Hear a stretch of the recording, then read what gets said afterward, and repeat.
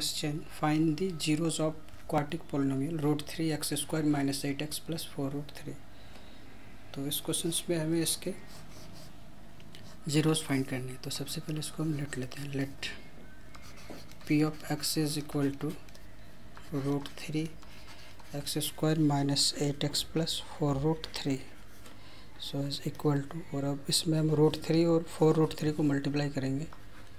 Root three into four root three तो ये होगा four into root three root three को मल्टीप्लाई करने से थ्री। So twelve. और अब हम इस ट्वेल्व का फैक्टर निकालेंगे। तो ट्वेल्व का अगर फैक्टर निकालेंगे तो ये सिक्स होगा, फिर टू से थ्री। हमें लाना क्या है? Minus eight.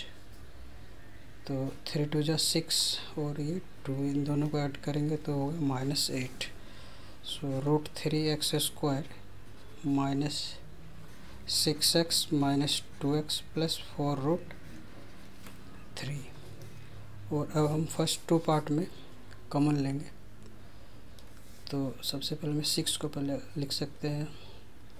Three into to और इस थ्री को लिख सकते हैं root three into root three into two तो हम इस सिक्स के प्लेस में ये लिख सकते हैं root three into root three into two तो कॉमन होगा रूट थ्री एक्स तो ये फ़र्स्ट पार्ट में होगा।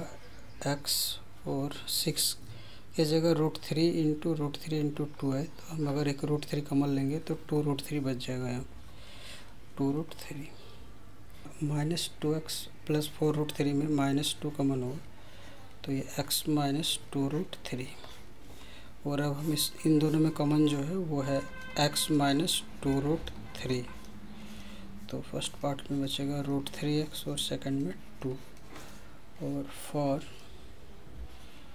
zeros of p of x, we take p of x equal to zero तो ये होगा x minus two root three और root three x minus two equal to zero x minus two root three equal to zero और root three x minus two equal to zero so x equal to two root three और x equal to two upon root three answer